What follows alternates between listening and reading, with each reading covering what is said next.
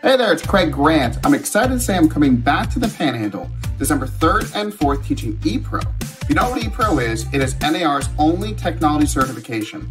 It's a great two days of learning where I'm teach you everything you need about how to be a modern realtor. All the right tech tools you need to run your business, how to market to today's customer differently, how to work with them better, how to protect your business and your clients from cybersecurity and wire transfer fraud, and so many other things.